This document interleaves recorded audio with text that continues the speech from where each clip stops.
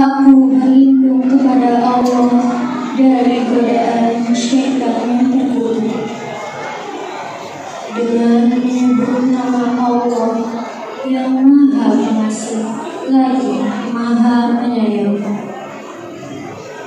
Sungguh telah ada pada diri Rasulullah itu suri teladan yang baik bagimu, yaitu bagi orang yang menghadap rahmat Allah dan kedatangan hari kiamat, dan yang banyak mengingat Allah.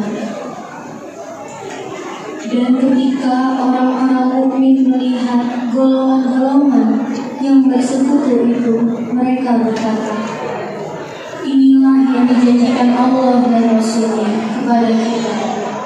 Dan benarlah Allah dan Rasulnya. Dan yang demikian itu menambah keimanan dan keislaman mereka.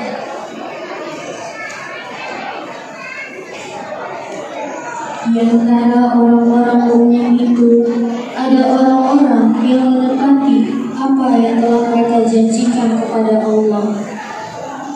Dan di antara mereka ada yang gugur, dan di antara mereka ada pula yang menunggu-nunggu. Dan mereka sedikit pun tidak mengubah janjinya.